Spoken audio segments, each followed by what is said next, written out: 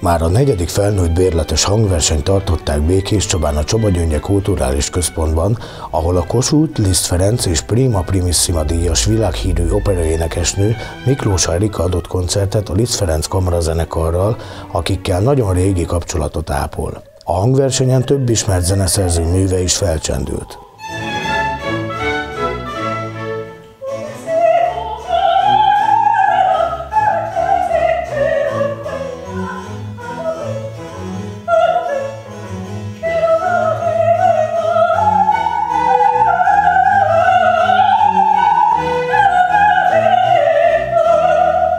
Természetesen kihívás, ugye ez a cél, ez egy nehéz dolog, amikor ráadásul egy, egy, egy olyan művel jön az ember, ami, ami hát nem azt mondom, hogy, hogy nehéz, mert nagyon könnyen fogyasztható handle zene, csak nem ismert.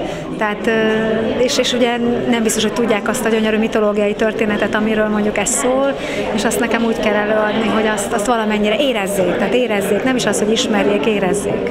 Az előadás a várakozásoknak megfelelően teltházas volt, sőt, még a pótszékekre is elfogytak a jegyek az esemény előtt több nappal.